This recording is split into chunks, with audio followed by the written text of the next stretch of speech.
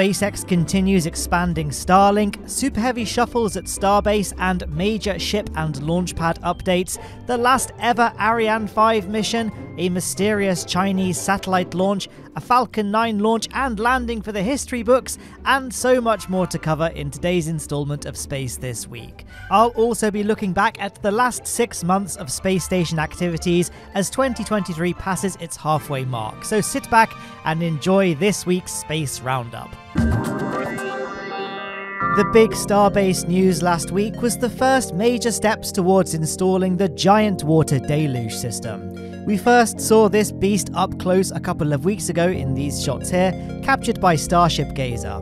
Now, a lot has happened since these shots were filmed. The first component to be transported was the massive central water cooled steel plate, which was rolled out on Friday and transported down to the launch site.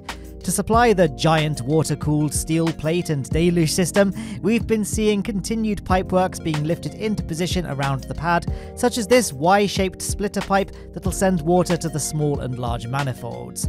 Before all of this took place, though, SpaceX performed another night of concrete pouring madness, with over 170 concrete trucks delivering concrete to the site, which was then poured into the launch mount's foundations over the course of about 15 hours. The three concrete pumping trucks then packed up in the morning. After a couple of days of letting the concrete start to cure, we started seeing SpaceX move the steel plate mover underneath the pad in rehearsal for installation of the plate. Shortly after, using the lifting strength of two cranes, SpaceX raised the central steel plate and placed it on the transporter. The reason why it needs to be transported vertically like this is because there's no way it could fit through the gaps in the launch mount legs. Once it was rolled underneath the pad, the cranes lowered their hooks through the orbital launch ring and carefully lifted the plate before steadily lowering it down. Big props to the crane operators, this looked like an incredibly tricky job. The central steel plate is supplemented by three surrounding manifolds, which blast water upwards towards the booster but not hitting its engines to serve as the water deluge system. The first of these manifolds was transported to the site last Thursday, as well as the largest of the three. The following day saw the first of the three water manifolds being lifted into position. Surprisingly, we also saw the arrival of around 20 water tankers to the launch site. These are MOVAC trucks and are normally used to pump water out of places rather than fill up water tanks. Perhaps these are here in preparation of water deluge tests, which will require the pumping out of water, or maybe they really are here to fill up the water deluge system's tanks ahead of its initial testing. To celebrate the 4th of July, SpaceX flew this giant American flag from the launch tower, thanks to Maria Pointer for this video. As you can see, the launch tower now has its ship quick disconnect arm, which was missing for quite some time. Yep, we finally saw this reappear at the build site, where it was then transported down to the launch area. Aside from some modifications to its pipework arrangements, not a lot appears to have been changed with this structure. It was then lifted and installed onto the QD arm, positioned a little bit higher than its original position. This is to account for the fact that, going forward, the first stage boosters are going to be slightly taller to make room for the vent ring required for the Starship hot staging. What will the vent ring look like? Well, possibly this. LabPadre's cameras captured this test section, moved around the build area to Tent 1. The section is labelled Hot Stage Loadhead, which to me sounds like this could well be a Pathfinder test tank for the Starship Super Heavy Interstage. Do you remember how Ship 28's payload bay door was removed a couple of weeks ago? We suspected that SpaceX wanted to make reinforcements to this, as the payload bay doors for Ship 20, 24, and 25 all needed to be welded shut in the end, presumably because, structurally, it just wasn't up to the job. Well, it looks like SpaceX might have figured things out as we saw the arrival of Ship 28's new payload bay door, which was then installed. As you can see, it looks substantially more robust than the original door, with significant reinforcements around its edge. In a historic first, a super heavy booster was rolled out from the build area down to the Massey's test area. Historically, Massey's has only ever been used for testing starships and small test articles, but recent infrastructure upgrades mean that super heavies can undergo testing here, which is likely what we'll see with Booster 10, since this was the vehicle moved to the site on this occasion. Here's an obligatory human for scale shot.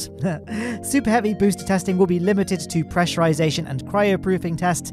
It's highly unlikely we'll see static fires, and if we did, it will be limited to only a couple of engines. Since to static fire all 33, well, I've spent most of the video video so far going through what kind of ground reinforcements are required to facilitate that. Booster 3 did a triple engine static fire on a suborbital pad way back in the day though, so I guess it's not entirely out of the question for some point in the future, though at the same time I'm not really sure if SpaceX have much to gain from single engine tests at this point. We saw two Falcon 9 launches since the last episode of Space this week, and one of them was for the history books. We'll save that one for a second while we talk about the first Falcon 9 launch last week, which took place on Friday. This was mission Starlink Group 5 13 and saw a Falcon 9 liftoff from the Vandenberg Space Launch Center, carrying 48 Starlink satellites to orbit. After separation of the second stage, Falcon 9's first stage successfully touched down on the drone ship Of Course I Still Love You, located in the Pacific Ocean.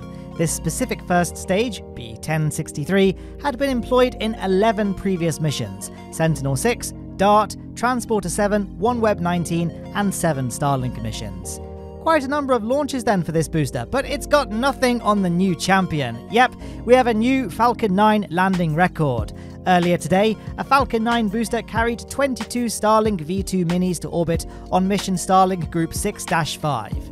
The first stage blasted off the launch pad at Cape Canaveral for the 16th time, and following stage separation, it once again successfully landed on the Just Read the Instructions drone ship stationed in the Atlantic Ocean. The previous 15 missions for this booster were Crew Demo 2, Anasis 2, CRS 21, Transporter 1 and 3, and 10 Starlink missions.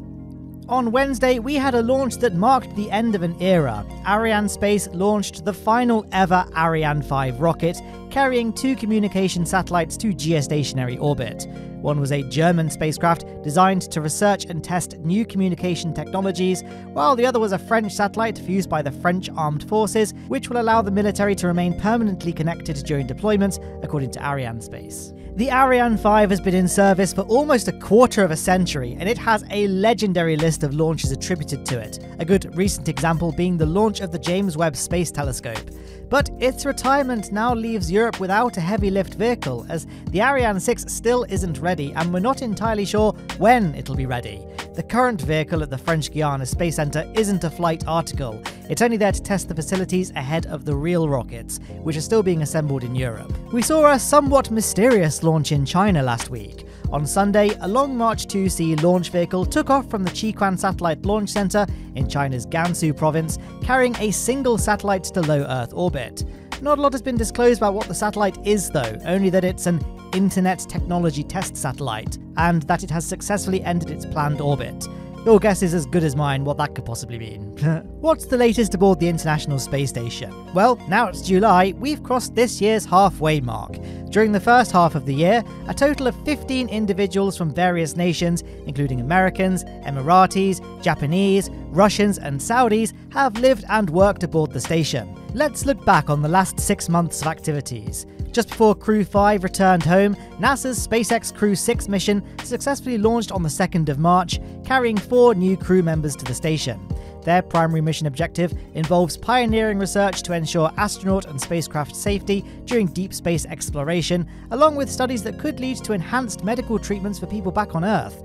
Crew 6 continues to remain on board and will return home after approximately six months in space. In partnership with Axiom Space and SpaceX, NASA launched Axiom Mission 2, the second private astronaut mission to the International Space Station, on the 21st of May. The crew stayed on the space station for eight days, conducting experiments and outreach activities before returning to Earth. This year, astronauts continued their work from 2021 by installing the fifth and sixth International Space Station rollout solar arrays through a series of spacewalks. These new arrays measure nearly 20 metres long by 6 metres wide and will partially shade the original arrays, which are 34 metres long by 12 metres wide. The installation of the 7th and 8th rollout solar arrays is planned for future spacewalks. Each new array is capable of generating over 20 kilowatts of electricity, and once all eight are installed, they will increase the station's power production by 30% compared to the current arrays. This year hasn't solely been about operational activities. Researchers announced a remarkable 98% water recovery achievement in the US segment of the space station, which is crucial for life support systems during long duration missions beyond low Earth orbit.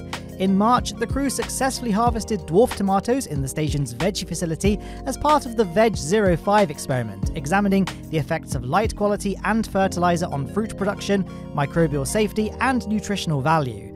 The station's biofabrication facility also made a comeback this year with upgraded capabilities. During its initial space trip in 2019, the facility successfully printed a partial human knee meniscus and a significant amount of human heart cells.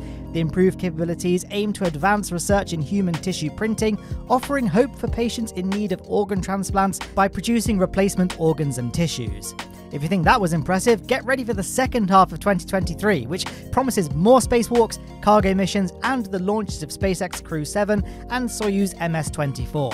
Later this year, NASA astronaut Frank Rubio, accompanied by Russian cosmonauts Sergei Prokopyev and Dmitry Petelin, will reach the 365 day mark on the 21st of September. They are scheduled to return home in late September, with Rubio set to become the new American record holder for the longest single spaceflight. A huge thank you is owed to my Patreon and YouTube membership supporters, whose kind generosity helps me continue keeping you all in the loop about all things space every single Monday. Consider signing up to either of these programs if you want to see your name on the left there. Otherwise, there are two videos from my channel listed there that YouTube thinks you'll like. Hopefully, they're good picks. Thank you all so much for watching this video, and I'll catch you in the next one. I have a very special video coming this week. I can't wait to show you. Make sure you subscribe so you don't miss that.